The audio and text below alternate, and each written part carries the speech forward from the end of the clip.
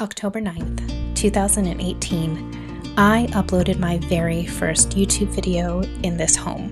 And now, October 9th, 2024, I am uploading one of my last YouTube videos in this home. Yes, the time has finally come. The time to move on, the time to spread our wings and grow a little bit bigger at a new home.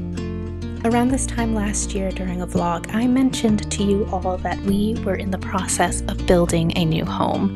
Well, we've kept it pretty quiet on social media and online, but now that project is nearing its finish, and I anticipate the project to be completely done within the next week or two.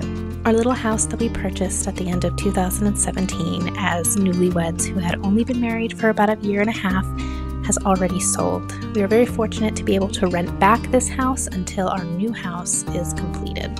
This has been a long time coming, so now I am going to be taking you guys along with me as I pack up this home and get ready to start our lives in a new home. This will now be the third time my husband and I are moving together. When we were first married, we rented a small little cottage. Then we bought this home that you're seeing me in right now, and now we are moving to our forever home that he and I built together. This move has been a great opportunity for us to purge all of the junk that we have accumulated over the years, really think about simplifying our lives and all the material possessions that we own, and think about giving back to the community. A lot of the things that I don't have use for anymore, we have been distributing towards the local thrift stores that either support the local animal health shelter or the local homeless shelter.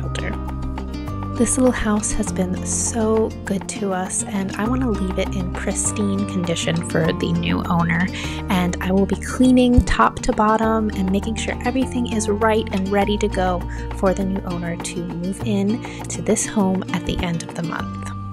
As I took down the pictures, I was just flooded with a ton of memories. I remember myself putting them up when I first bought the house and trying to figure out what to do with this massive wall in our living room because it seemed so overwhelming. But now the pictures are down, the wall is clean, and I'm ready to start anew in the new home with new decor and just new memories and new exciting adventures. I'm going to leave you now with a sneak peek as to what is going on at our new house. I will see you guys next time. Thanks for watching. Don't forget to like and subscribe.